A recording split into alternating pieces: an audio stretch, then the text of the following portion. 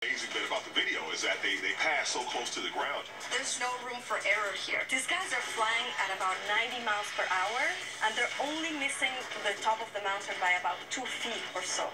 It's mind blowing. Ladies and gentlemen, this is our number one human guinea pig, doing the Sanye Fjord flyby.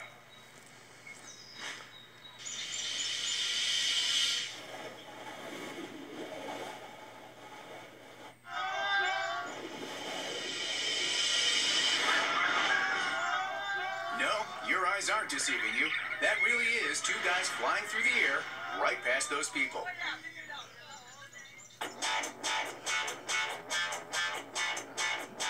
Jokke Sommer is Norway's best base jumper, a master of a sport eight times more dangerous than skydiving.